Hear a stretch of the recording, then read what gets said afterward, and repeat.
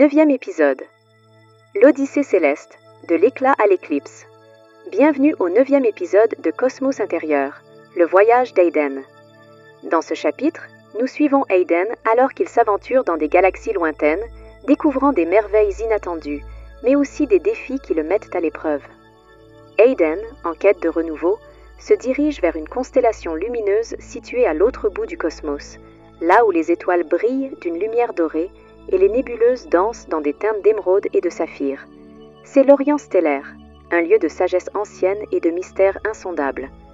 Dans cette nouvelle galaxie, Aiden est accueilli par des étoiles chaleureuses et des planètes pleines de sagesse.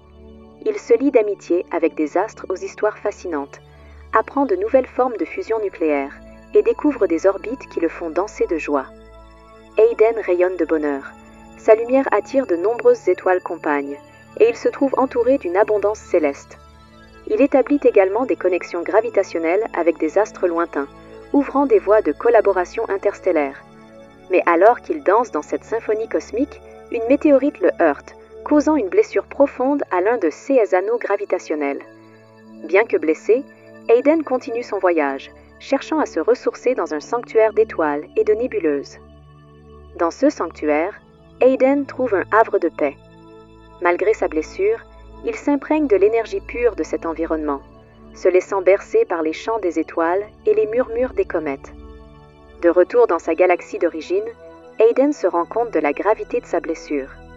Il doit subir un changement stellaire pour réparer son anneau gravitationnel. La convalescence est longue où il doit rester en orbite stable, sans pouvoir explorer ou interagir comme avant. Cette odyssée céleste a été un voyage de découverte, de joie mais aussi de défis pour Aiden. Il a appris la valeur de la résilience, de la patience et de la guérison. Et alors qu'il se remet de sa blessure, il sait qu'il est prêt pour de nouvelles aventures dans le vaste cosmos. Merci de nous avoir suivis dans ce neuvième épisode. Le voyage d'Aiden continue et le cosmos a encore tant à offrir.